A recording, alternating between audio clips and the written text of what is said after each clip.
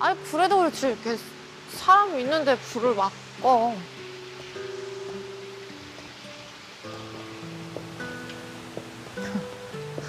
되게 이상하다.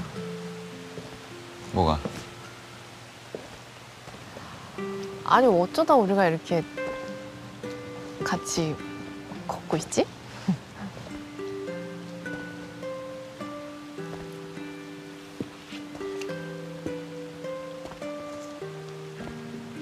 간호사님이 나 꼬셨잖아. 웃기시네. 자기가 먼저 꼬셔놓고. 내가 언제? 내가? 아, 그 뮤지컬 하다가 이렇게 나한테 이렇게 막 뽀뽀했잖아. 아니 그거는 누가 뒤에서 밀쳐서 그런 거라니까. 아 그 몇 번을 내가 얘기를. 뻥이야. 사실 내가 먼저 꼬셨어. 그러니까 내가 먼저 고백도 한 거고. 아 몰라. 나 서현주 좋아. 지금은 내가 더 좋아해.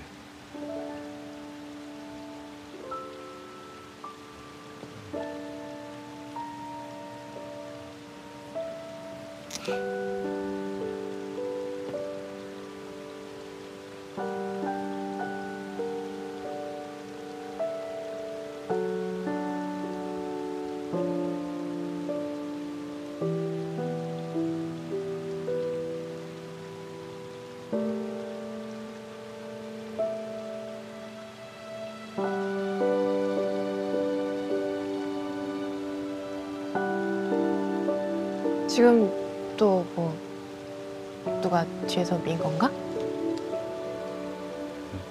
내가 하고 싶어서 한 건데. 그럼 이렇게 해야지.